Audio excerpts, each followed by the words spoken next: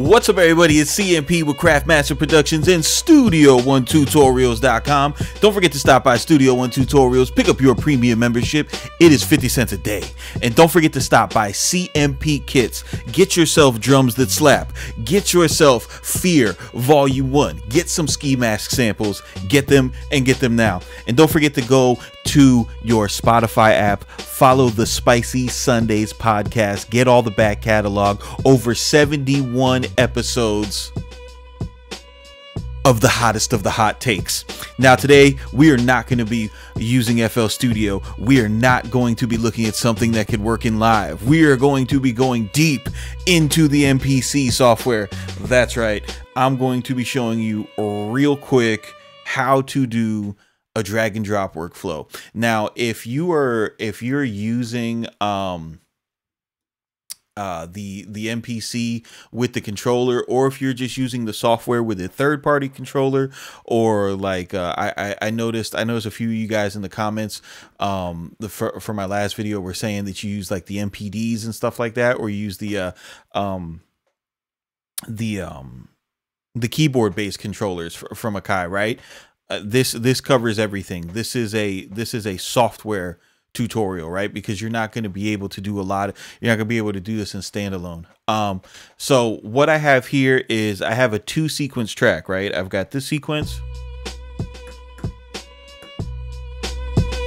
Yeah, get some volume on it. Okay.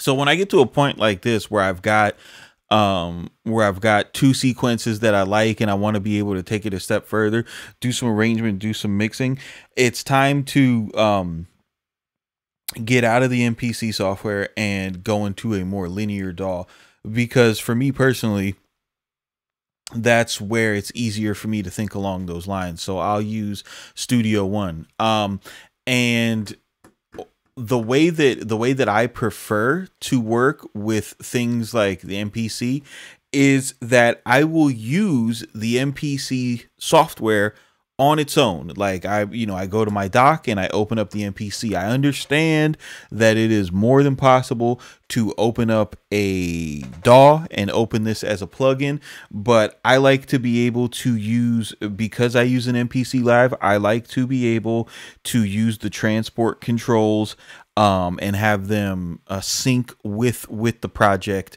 and not have any issues, right? So that's that's how I hook that up, um, and that's the reason why why I work like this. So the first thing that you're going to want to do is you want to go to your first sequence and you want to go to your track that has the drums, right? So I have three tracks on this. Track one is the sample, track three is the bass line, and track two is going to be the drums. Now, I want to drag and drop this out of um these stems out of the MPC and into Studio One.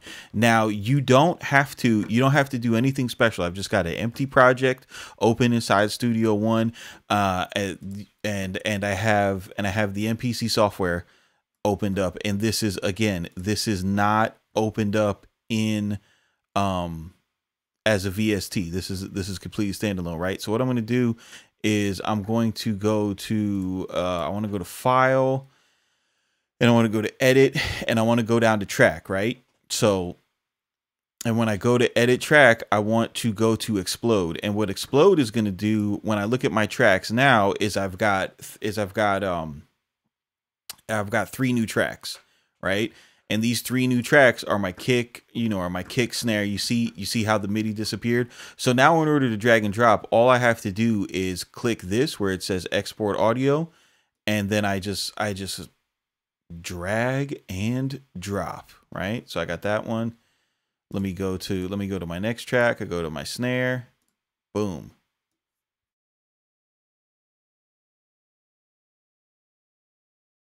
Right and then let me go to my kick.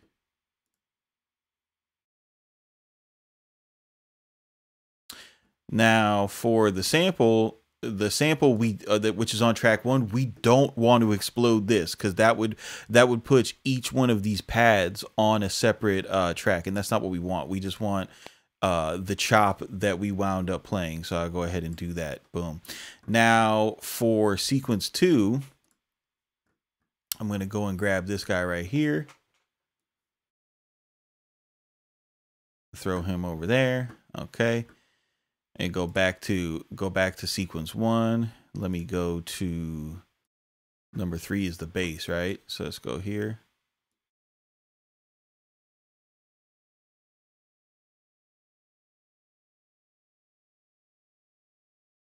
Now, if you see on sequence two, our drums are still on are, st- are still on this one channel like this, right? So again, if you, uh, it's it's only going to explode the track per sequence. So again, we want to go to edit, and, and, and we're going to edit our track, right? So that's what we want. We want to go to edit, submenu track, then go to explode.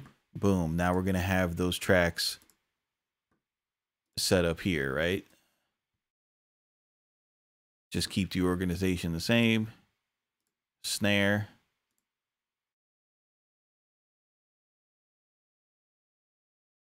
And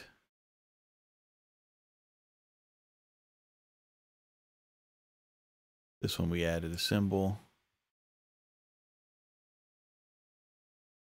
Hi-hat.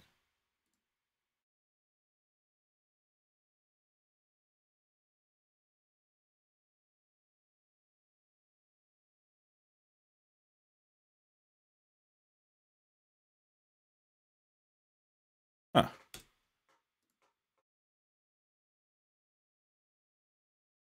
Okay, so now once so now once I got that, I can I can close this, save it, you know, save this project that way I can pull it up later if need be if I want to add to it in the in the um in the workflow and what what MPC is going to do they're going to they're going to add uh, just a little bit of uh, a little bit of space um after actually no let me make sure I get the right tempo this is I think this is a 93.60 or something. Shoot.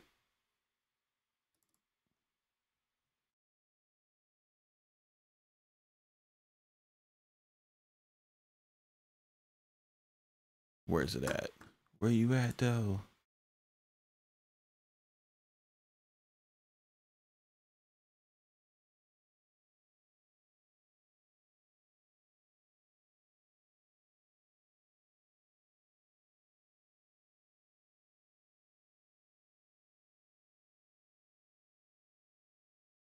All right, so this is a 93.17.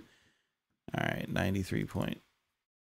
I forget all my MPC beats. I do, I do, like I don't perfectly time stretch them, so you definitely want to make sure that you got your that you got your tempo correct. Boom. So now we could do this. Cut off the cut off the excess that MPC left us. Sometimes it's good for like something like this sample. It catches the release. That's nice. So now I could go duplicate this out. Let me listen to it.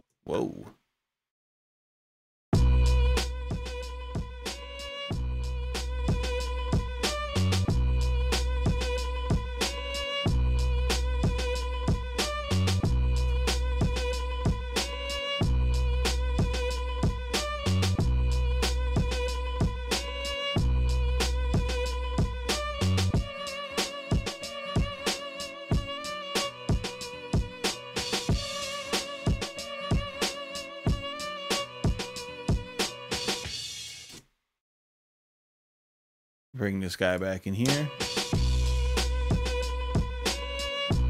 And then you don't have to worry about being uncomfortable with how you arrange beats inside of, you know, inside the MPC if you don't like song mode. It's very simple to bring your stuff back in here. You know, you can add your compression. You could go ahead and take advantage of the melody hacks that, uh, uh, you know, the Studio One has. You know, now I can go and see like, okay, um, you know, here's here's my sample loop. Let me um right? Is this a sample loop? Yeah, so I have my sample loop. So let me go ahead and drag that up to to my chord track it's going to show me the chords that are that are being played so i could go ahead and you know add a vst and play along with these notes and i know i'll be in key um, you know, just take your creativity further, man. But you know, MPC strength is doing the drums, chopping the samples, um, having the having the different scene change workflows to get yourself something that has a vibe and a feel like this. Uh, and then you know, if you want to use the strengths of your DAW to take it even a step further, Super simple to do. Drag and drop. So this is CMP with Craftmaster Productions, StudioOneTutorials.com, CMPKits.com. Keep it simple, but do not be basic, and we'll see you on the next one, fam.